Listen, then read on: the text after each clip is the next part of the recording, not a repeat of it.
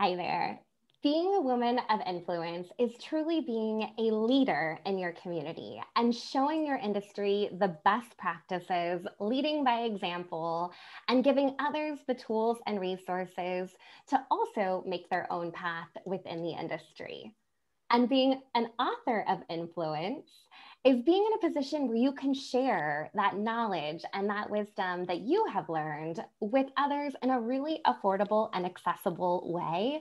I think the best books, the best authors that I've learned the most from have really taught me to think differently or try things a little outside of the box and really challenged how I go about doing what I do on a daily basis.